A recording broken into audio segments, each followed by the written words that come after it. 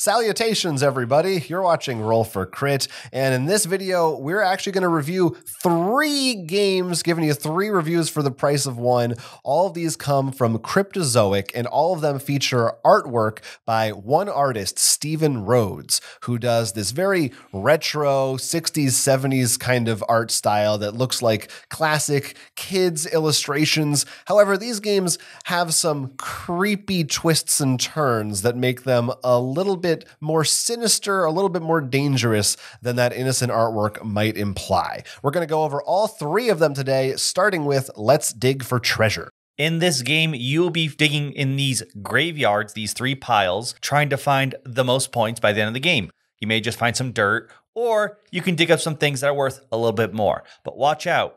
If, as you reveal cards, you reveal either two worm cards at once or a skeleton, you've pushed your luck and you have to give up everything that you've dug. Now, there of course are plenty of more things in here. There are some cards that will trigger once you score and decide to stop, some that will trigger right away or give negative points. So keep an eye out on what you can find in those graves. The three piles are shuffled randomly, so you have no idea what you're going to get. You can swap between them as you draw, and you're just going to keep going trying to get the most points that you can each turn. But as soon as one of the decks does run out completely, the game ends and you see who has the most points, depending on the conditions of these cards. So as a group, you can kind of decide, oh, maybe I want the game to end now, so I'm really going to go all in on one pile. Or maybe you try to spread things out out more evenly. You might get superstitious about things the way I do and say, oh no, this is a worm pile. There's too many worms in here. Or, oh, we got a bunch of worms from here, so I bet it's safe now.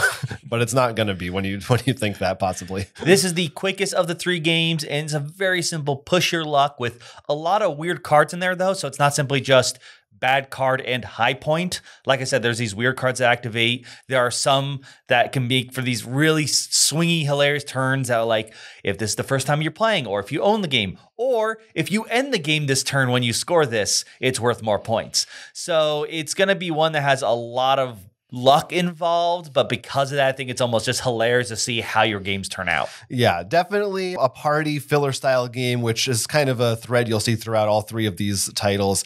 And yeah, there's not a ton of uh, player interaction. You're basically worried about your own business, but there are some cards that will have things like, oh, look at the top four, maybe. So you might have some information about one of these piles, and maybe you could use that to your advantage. And other players might try to figure out, oh, why didn't they draw from this pile oh, after yeah. they looked at it? that's actually some of the best moments I had where like I looked at the top four and you just see me go, okay, I'm gonna continue drawing here, and everyone's like, okay, that's a that's a that's a radioactive pile. Leave that one alone. yeah, we'll never look at that pile again. So yeah, there are some weird, funny cards, and again, as you can see, you are digging through graves, so there's some weird stuff that you're digging up. it's a little bit, it's a little bit out there, guys. That's pretty weird. You got to have a hey, sick sense of humor. There's leprechaun gold in those graves. There is leprechaun's gold. Apparently, I guess a leprechaun was buried there. I, I don't know how that works out, but yeah, I think if you like a silly, fast-paced, casual card game, push your luck, and you're not taking it super seriously, this one is pretty fun.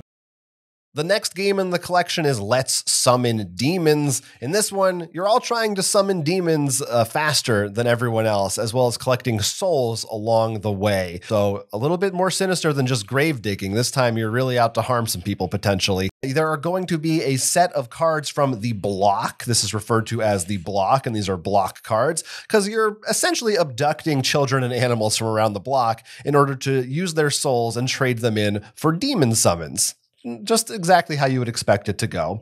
And you will begin with a candle of some type that will have a set of numbers on it.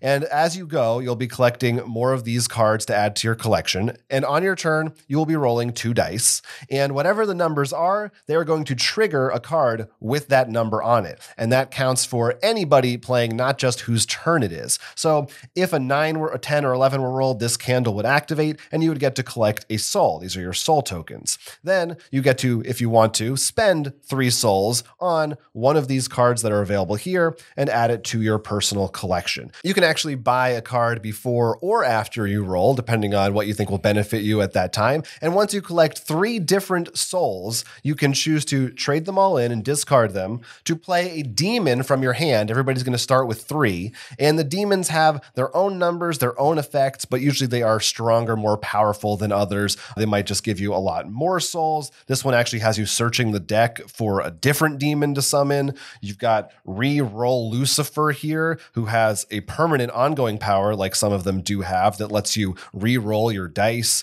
So you're trying to, you know, get synergy with some of these different cards. Some of them will also allow you to do things like look through the top of the deck. A lot of them will just get you souls. Maybe they'll look at your other characters that you have and depend on whether they are considered sweet or rotten, or if they're boys or girls, they could have different effects. And the first person to summon all three of their demons and then also have 10 soul tokens is the winner. So this one plays a lot like Machi Koro, but I, I found it a bit interesting because one, the buying before you roll is as small, but it's one of those fun tweaks because you can be like, I can buy something for my combo before I roll. Yeah. And the other thing was the way that you have plenty of synergy, like you said, whether animal or the sweet and rotten. But then sometimes, because you have to give up those cards, you snuff them out, as the rulebook says, to summon a demon. And you're like, do I want to give up my engine for this, or should I wait until I get a couple more cards so I can keep the engine going when I add the demon?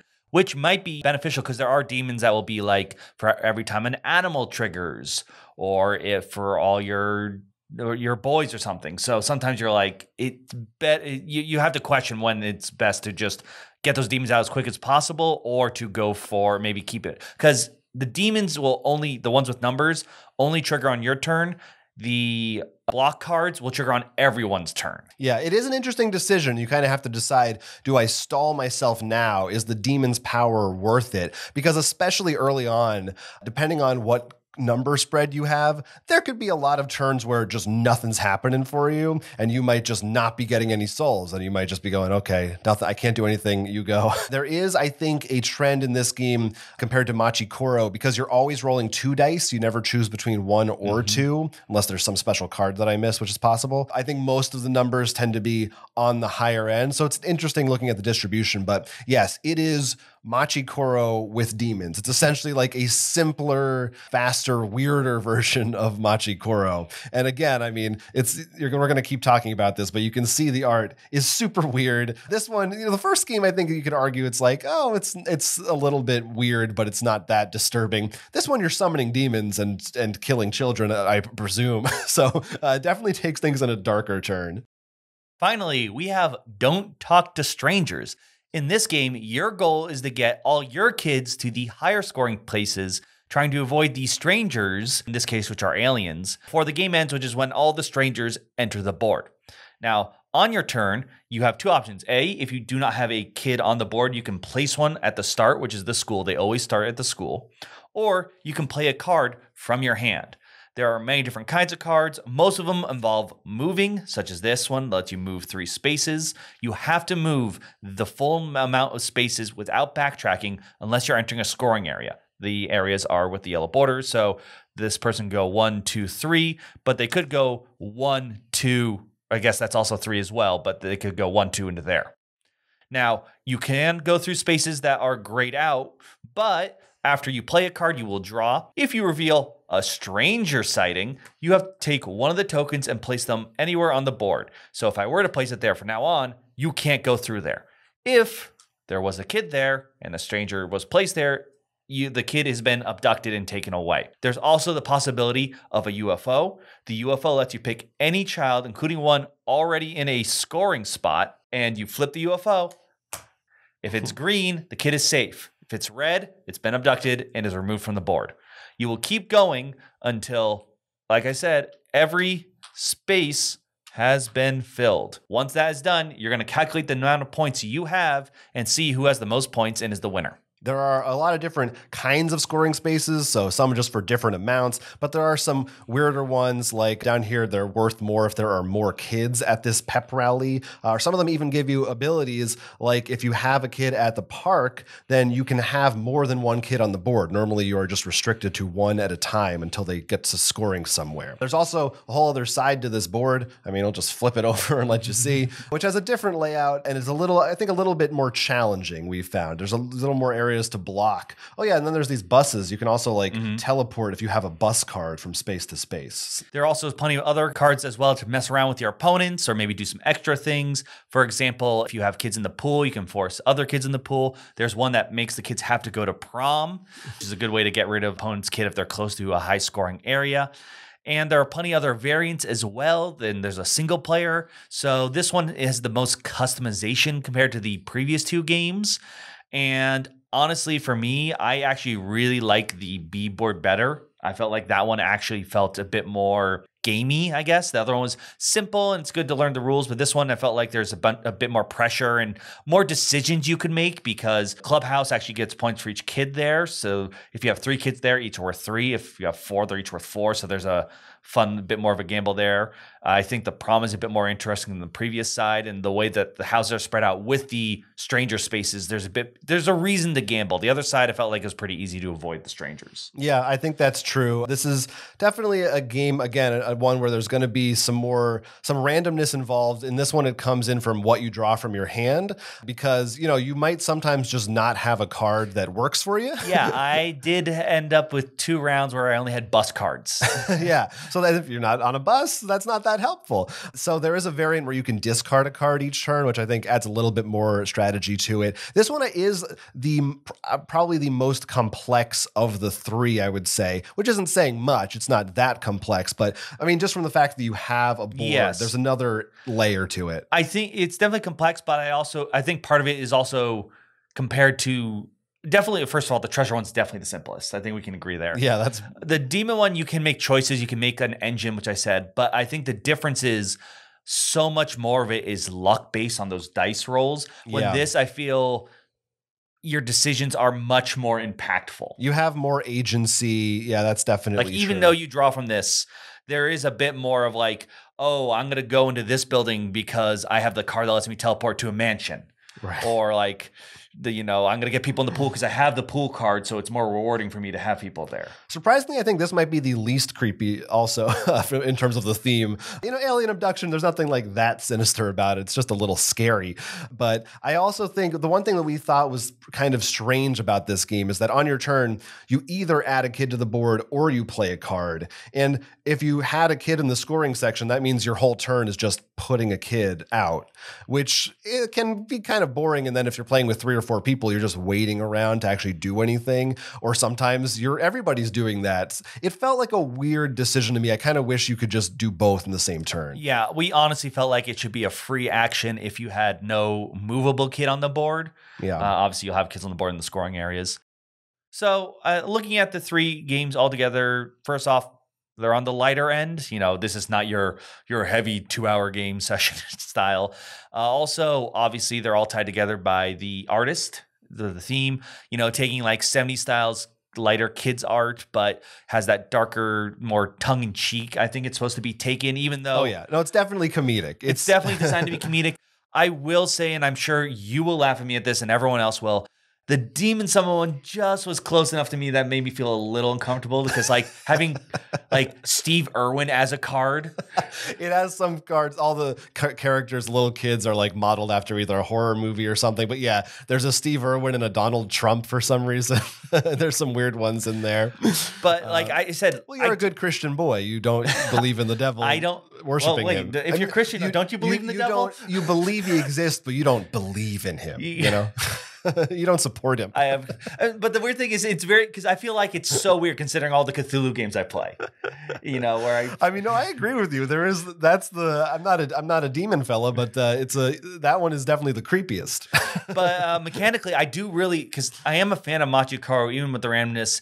Outside of like, I had one game where the person just kept buying the things I would have bought and it's bad rolls, which you know it can happen. But overall, I still enjoy the system. And like I said, being able to buy first beforehand, I like that a lot. It- like it's such a small thing, but you know when you get to buy a card and you roll that, you feel so good. yeah. Another thing that I think this could be cons- for some people to miss. To me, it doesn't bug me at all, especially in a lighter game. And all, I don't know if the digging one had one that I can recall, but that they there is a do this and you win. Like the demon one, we're going back to that one. You got that. with There's this- there's one demon where if you just roll snake eyes on your turn, you win the game, and I did that. but it was even better because when you played the demon, then the next person rolled snake eyes. Then I rolled snake eyes. So you're like, they're, they're coming. The snake eyes are coming. And then you finally got it. And, and, you know, for me, it was hilarious. Yeah, I, I don't yeah. mind it. I feel like in I think that was perfect. more fun than when somebody won the the normal way. uh, yeah, I mean, all these games will last you. 15 to 30 minutes, and they're all, I think, two to five players, except for this one, which is like one to four, the Don't Mm-hmm. Talk to Strangers one. That's the range you're looking at for all of them. But yeah, they're definitely all three of them are games that if if you are really concerned about balance and the competitive nature, you might get frustrated. Don't you you shouldn't go into this they're, for that. They're swingy, but I like them. Though I honestly, I will say playing, we did this one on this side map two player once, and I actually didn't feel too swingy. Hmm. Like I actually felt like this was, and I think hence that, like we said, it's the least random. There's more your agency to it. That I, I felt like it was, it was still light, but I was making like I was thinking like, okay, I can go here, and how do I prep with this? If I draw a stranger card, I can put this here because I have the one that lets you bypass strangers. Hmm. So like like you said, the the especially especially uh the digging one, there are some really wild cards that can come up. But this one was not too bad on that. I was actually for a light game, like this felt like just a cer- at least at the two player. I think if you start going higher, there's going to be a lot of weird cards in like someone can just draw four strangers in a row. You know, Yeah, well, I'll say this because maybe we differ on this point. Looking at the games as a whole, I'm pretty sure this one's my least favorite, actually. uh, I think for me, what you're saying, I actually think this one is almost like the uncanny valley of it, tr- it tries a little too much to be more strategic, and I don't think it really succeeds at it. I think the first two know what they are. They are filler games, they're luck based, and they're f- cool with it. And I thought they worked better. I think Let's Summon Demons is probably my favorite, but Dig for Treasure is pretty good too for what it is. I on I feel like Let's Summon Demons, if I had to choose, would be my least favorite. Interesting. I will say, I will that say I think part of it might be the theme, but like also part of it is you can just play Machi Koro. I mean, That- truthfully, yeah. it's it's pretty but much like the same. even I'm trying to ignore that in the theme. yeah. I felt like that was the one where it was more likely I feel I could have the luck really just and have like I, I had a, a full game when I just nothing happened. Yeah, You know, yeah. uh, the true. treasure one is so simple, and I'm just like flipping cards, flipping cards. Like it's hard to have a long turn there. Like I feel like even if you're playing the max player count, you're not going to be just sitting there. Well, my turn's done. Like that could happen in the dig one, but usually it's your turn again. So, so what's fast. so what's your ranking? Um, if I had to rank them, Or if you had to, yeah, go ahead. I think honestly, I just the dig one is so simple. I like it because it's simple for me. It's like it does its what all three are trying to do. The dig one does best. Yeah, and being this quick, fun, like it is a dark game. You're technically digging up graves, but also to me, I almost got like Goonie vibe. Like it's just they're around skeletons stuff, but you're just on it. remember like, when the Goonies dug up those corpses? I know, I know, like, the, but like in the fact, there's like the pirate skeletons. Yeah, stuff, like yeah, the- that's yeah. what I mean. Like in terms of like, you don't, you would not consider Goonies a horror. Mm, depends on how you Oh, look at it. For the parents, it was they were worried sick. Yeah, I and would. then I- this one, and then the demon. But like, I feel like, so we have the almost the exact opposite. yeah, but I, I, I, it's not like I would not die on the hill of that order. I guess. yeah, yeah. So I think the most agreeable one certainly is Let's Dig for Treasure because there's, I almost would argue there's the least to even criticize because it's so simple. Actually, and you know why? We haven't even mentioned yet a huge issue. Oh, yeah. Both Don't Talk to Strangers and Let's Summon Demon, we had a huge critical flaw. We're like, we can't find this in the rulebook. What do we do? and we had to go on Board Game Online, and both times, Cryptozoic, someone from Cryptozoic said, yes, this should have been in the rulebook. We're sorry. yeah. Like, yeah. huge things. I'm like, wow. Like, um, I mean, it, one it pretty much just involved how what happens in this game when certain cards come out, and the other one was we. It was supposed like with the ruling it fixes, but we read it and like as far as we can tell, we can make it someone can't win the game. Yeah, basically you could steal someone's demon and let summon demons, and if you you don't usually draw anymore, the rulebook doesn't tell you you they do draw one to replace it. So there were some oversights like that, and I I, I think that's just you know the a lot of people will probably just play these. That I think the target audience will just go, I don't know, just draw another Yeah, one. that- like they're, they're not people like us. like if you're a hardcore board gamer, you know these aren't necessarily designed for you. But I would recommend these to people. At least I would recommend Treasure and for me Demons. This one I sound that we're a little more uh, torn on t- between the two of us, but. Uh, th- they're they're decent filler games. They're fast and fun, and I think maybe even because of the art, if you, if someone you think is like into this art, or if you are into this art, I feel like these make really funny gifts. Oh no, I 100% agree because I definitely the art is. I mean, there's a that's reason why they- you're playing it. That is Right, well, why I you're playing That's it. why this I would say this series is based on the artist. You know, Yeah. it's not a. And I, I mean, uh, while we seem to have disagreement about the order, I don't think I'd be like really You bring like I've we've played bad games before, and I don't think any of these are like terrible. They're light filler games that I Yeah. would just be like, okay, let's yeah. None of them, I think, are going to blow your mind. They're Mhm. they're all really simple, and there's a lot of randomness. They're they're. I mean, I'm just going to say they're not great games, but I think they accomplish what they're trying to do. I think you will laugh while playing some of them. Yeah, yeah. So if it's your weird kind of sense of humor and and you like this art style uh, and you're looking for something quick and light, it's not going to take too long. Then these games are something you might want to check out. Again, uh, they're the Steven Rhodes series from Cryptozoic, and they're Let's Dig for Treasure, Let's Summon Demons, and Don't Talk to Strangers. We'd love to hear from you if you've had the chance to play any of these. Which of the three you like the best? Maybe you have different rankings or opinions on these things. You can talk to us in the comments section. Let us know. We'd love to hear from you, but until then, I'm Will. I'm Jonathan. And this has been a Roll for Crit review. Congratulations, you have reached the end of the video. But before you leave, don't forget to hit that like and subscribe. If you want to help us out more, you can check us out on Patreon. And if you want to see us play about in playing board games or some video games, you can check out our Twitch or our other YouTube channel, Roll for Crit Live, for more longer form videos that tend to be streamed live. So come join us.